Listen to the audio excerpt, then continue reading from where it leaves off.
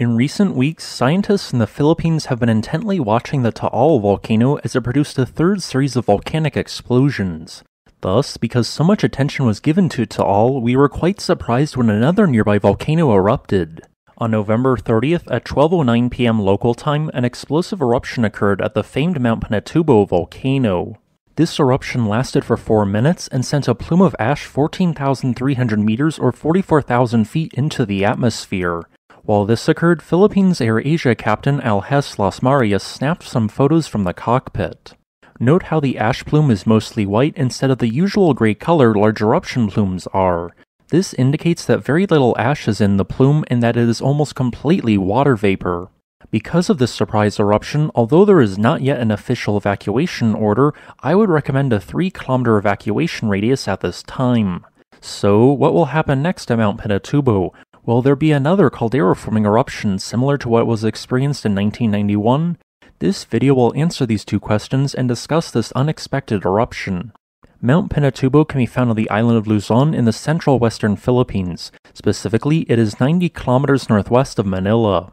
From satellite, Mount Pinatubo is quite easy to spot as there are a series of great pyroclastic flow and lahar deposits which radiate outwards from its summit. These were in place during the 1991 eruption of Mount Pinatubo, which caused the 1,745 meter tall volcano to collapse downwards to a height of 1,486 meters, forming a 2.5 kilometer wide caldera. In total, this eruption ejected 13 cubic kilometers of volcanic rock, marking it as the largest volcanic eruption in the Philippines of the last 5,000 years. Pyroclastic flows from this eruption reached up to 16 kilometers distant, destroying everything in their path.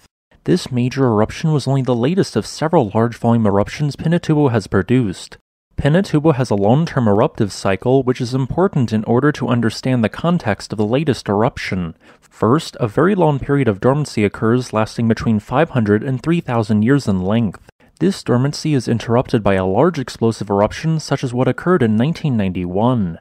For a period of several hundred years following the major eruption, a combination of small phreatic and lava dome forming eruptions occur at the volcano, thus largely filling in any craters or calderas which once existed. Since a caldera forming eruption occurred a mere 30 years ago, what was just witnessed was one of those small phreatic eruptions to be expected in the period following a major eruption. Phreatic eruptions occur when underground magma slowly heats surrounding rock, causing any nearby groundwater to flash to steam. Eventually, this steam becomes overpressurized and takes up more space than the rock containing it, resulting in an explosive eruption. The eruption which occurred today was purely phreatic as it did not contain any small fragments of lava, indicating that the source of magma which caused the eruption is still quite deep. In the next several days to weeks, more similarly sized phreatic eruptions should be expected, meaning that the overall volcano should be closed off to the public for some time. Although not truly a certainty, there is a slight possibility that the magma which triggered this latest eruption could erupt into the caldera lake and begin to build a new lava dome. However, the current level of volcanic earthquakes and sulfur dioxide gas is insufficient to suggest an imminent magmatic eruption. For those of you who are still worried about this volcano, here is some greater context. One way to determine how much magma is present is based on the amount of sulfur dioxide gas it emits, before the climax of the major eruption in 1991, these levels are more than 13,000 tons per day. In comparison, those levels of sulfur dioxide are a mere 341 tons per day right now. While another explosive eruption is quite likely, a major eruption is not expected at this time. Thanks for watching. If you'd like to request a specific topic, please leave a comment below.